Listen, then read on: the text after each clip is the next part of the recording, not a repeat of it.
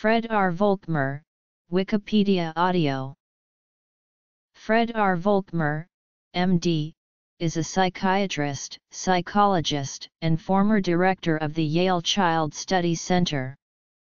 He is the Irving B. Harris Professor of Child Psychiatry, Pediatrics, and Psychology at the Yale School of Medicine and the head of Child Psychiatry at Yale New Haven Hospital.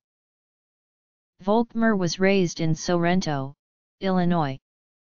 He obtained a degree in psychology from the University of Illinois in 1972, and his MD and an MA in psychology from Stanford University in 1976.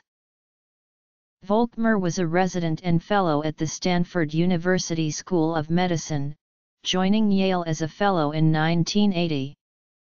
He became a professor at Yale in 1982.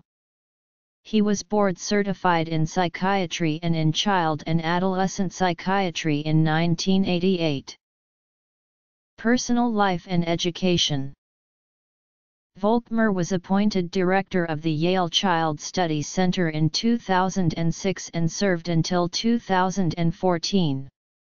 He is the editor of Springer Publishing since 2007, and serves as editor for the Journal of Autism and Developmental Disorders.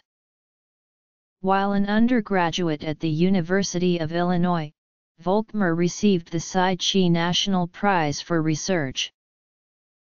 Volkmar received the Blanche F. Ittleson Award from the American Psychiatric Association in 1997 and, in 2007, the George Tarjan Award for Research in Developmental Disabilities from the American Academy of Child and Adolescent Psychiatry. Volkmar was the lead author of the section on autism in the fourth revision of the Diagnostic and Statistical Manual of Mental Disorders.